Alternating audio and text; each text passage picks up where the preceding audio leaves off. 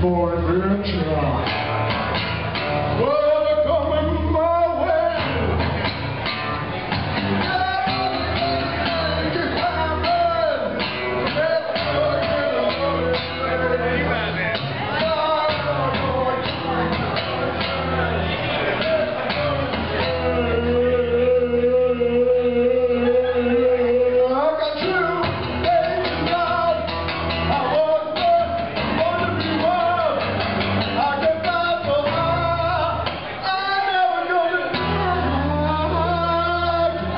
Ooh.